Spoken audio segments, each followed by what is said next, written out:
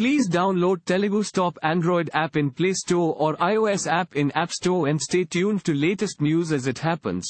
Liverpool, December 28. Manchester City boss Pep Guardiola described his side's Wednesday's 3-1 victory at Everton as a massive win, as City's newly crowned world champions returned to Premier League action with a vengeance. Five days on from being crowned FIFA Club World Cup champions in Saudi, City staged a wonderful second-half fight back at Goodison Park to claim a crucial three points.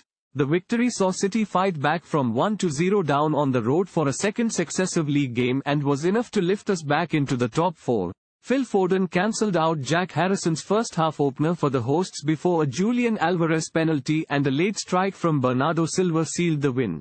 Reflecting on the match, the City boss said, It was a massive win for us after where we came back from Saudi Arabia as world champions. We were really pleased with how we reacted and it proved again how special this group of players is and the mentality that we have in our bones.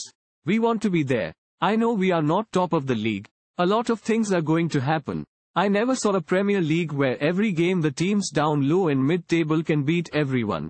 There will be a lot of surprises and the thing is to be there. We are really pleased for the victory except to concede a goal after we played really good.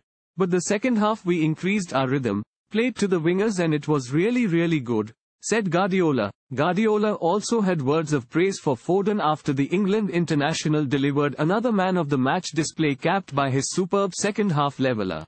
But he insisted that there was even more to come from the 23-year-old.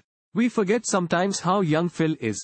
The talent is there, winger, striker, drop in, he can play in attacking midfielder and without options from Erling we need a sense of goal. Otherwise, we don't have many players with a real sense of goal that's why how he's playing is so important. We're pleased. Don't forget he's young and has lots to improve to be top class for many years, said the 52-year-old manager. Thank you for watching. Please subscribe to channel and click on bell for more daily videos.